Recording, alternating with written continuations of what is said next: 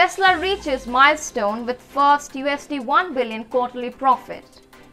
Welcome to Inventiva, I'm Oishi Banik, back with a new story. Tesla's quarterly profit has surpassed USD 1 billion for the first time, thanks to electric car pioneers' ability to navigate through a pandemic-driven chip shortage that has caused major headaches for other automakers.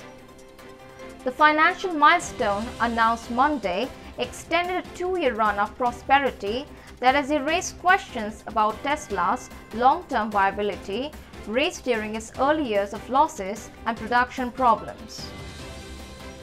Tesla now has cemented its position as a leader in the shift away from gas combustion that is expected to make it even more profitable than during its most recent quarter. The Palo Alto, California company earned USD 1.1 billion or USD 1.02 per share in the April-June period. That was more than 10 times its profit at the same time last year. Revenue nearly doubled from last year to about USD 12 billion.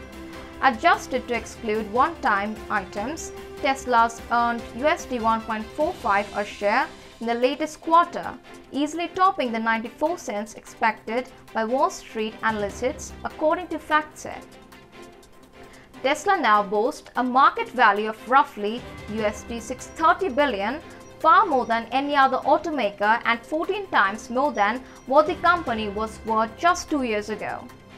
Its marketable CEO, Elon Musk, is now sitting on the world's third largest fortune at an estimated USD 163 billion according to Forbes magazine's calculations.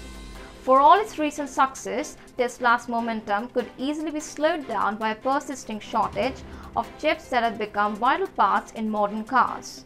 While other major automakers had to dramatically curtail production during the first half, Tesla so far has been able to secure an adequate supply of chips to churn out vehicles at the fastest rate in its history. In the most recent quarter, Tesla delivered more than 206,000 vehicles within a three-month span for the first time in its history. It is also gearing up to add another sports utility vehicle, the Model Y, to its lineup later this year. But in a sign that Tesla isn't immune to shortage of chips and other components is hurting its rival, the company disclosed that it will delay the introduction of a highly anticipated semi-truck to sometime next year. Its original plan was to introduce it this year. Tesla also warned that availability of parts will determine whether it will be able to maintain the first half production pace that raised hopes the company will be able to manufacture more than 800,000 vehicles this year.